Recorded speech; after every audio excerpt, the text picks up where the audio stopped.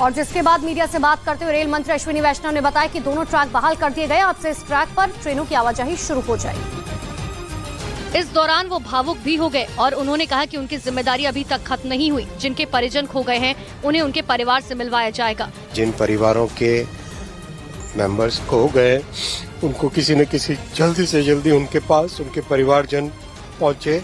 ये हम, ये हमारा दायित्व हमारा दायित्व भी खत्म नहीं हुआ ट्रेन हादसे के बाद से अश्विनी वैष्णव लगातार मौके पर डटे हुए हैं।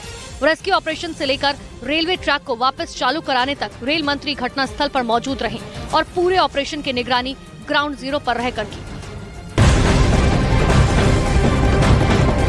और इसी से जुड़ी एक बड़ी खबर आपको बता दें ओडिशा के बालासोर में हुए रेल हादसे की जाँच सीबीआई की तरफ़ से की जाएगी।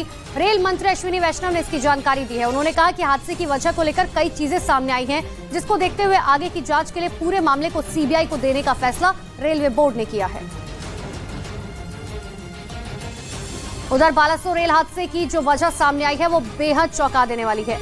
अब तक हुई जाँच के मुताबिक इस भीषण रेल हादसे के पीछे इलेक्ट्रॉनिक इंटरलॉकिंग में बदलाव होना है। जिसकी वजह से ये हादसा हुआ और इसकी रिपोर्ट भी जल्द विभाग को सौंपी जाएगी। तो वही इस हादसे की जाँच सीबीआई से कराने का फैसला किया गया जिसकी जानकारी रेल मंत्री अश्विनी वैष्णव ने दी है। सीबीआई के पास देने का रेलवे बोर्ड की तरफ़ से रिकमेंडेशन किया जा रहा है। रेल हादसे के पीछे किसी तरह की साजिश होने की बात सामने आ रही है जिसके बाद रेलवे बोर्ड की तरफ़ से मामले की सीबीआई जाँच की सिफारिश की गई। तो बालासोर में हुए रेल हादसे में अभी तक दो लोगों की मौत हो चुकी है जबकि 108 शवों की पहचान कर ली गई। और उन्हें उनके परिवार वालों को सौंप दिया गया। तो वहीं ओडिशा सरकार की तरफ़ से टोल फ्री नंबर भी जारी किया गया जिस पर फ़ोन कर पीड़ित परिवार अपने रिश्तेदारों के बारे में जानकारी ले सकते हैं। ये जो दो नंबर है one eight zero zero three four five zero zero six one और एक नंबर है वन नाइन टू नाइन। ये दोनों नेशनल टोल फ्री नंबर। साथ ही शवों को ले जाने के लिए फ्री एंबुलेंस की व्यवस्था की गई जबकि बड़ी संख्या में घायलों का इलाज चल रहा है।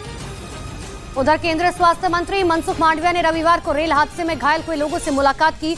मनसुख मांडविया विशेष विमान से भुवनेश्वर पहुँचे थे। जहाँ से वो कटक के अस्पताल गए और घायलों का हालचाल जाना। इस दौरान उनके साथ केंद्रीय मंत्री धर्मेंद्र प्रधान और अश्विनी वैष्णव भी मौजूद थे। इसके बाद मनसुख मांडविया ने घायल लोगों के बेहतर इलाज को लेकर भुवनेश्वर एम्स के वरिष्ठ डॉक्टर और अधिकारियों के साथ एक मीटिंग की और उन्हें ज़रूरी दिशा निर्देश दिए। विदेश मंत्री एस जयशंकर नामीबिया के दौरे पर हैं जहाँ उन्होंने भारतीय समुदाय के साथ बातचीत की। इस दौरान उन्होंने बालासोर रेल हादसे का ज़िक्र किया। उन्होंने बताया कि बालासोर में हुए दर्दनाक हादसे पर दुनिया भर के लोगों ने दुख जताया है जो भारत के साथ दुनिया के जुड़ाव का एक प्रतीक है और ये उदाहरण है कि आज की दुनिया कितनी वैश्वीकृत हो चुकी है।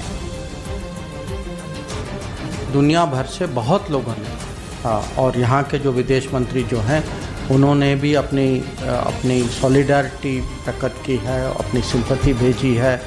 आ, मुझे भी बहुत फॉरेन मिनिस्टर्स और बाकी जो दोस्त जो दुनिया में हैं उनका भी मैसेज आया है प्रधानमंत्री जी को भी आया है। और ये एक उदाहरण है कि आज की दुनिया कितनी ग्लोबलाइज्ड हो चुकी है कि और ये भी है कि दुनिया भारत के साथ कितनी जुड़ चुकी है कि हमारे यहाँ ऐसी दुर्घटना हुई और पूरी दुनिया को लगा कि हमें भी इस इस समय में भारत का साथ देना चाहिए।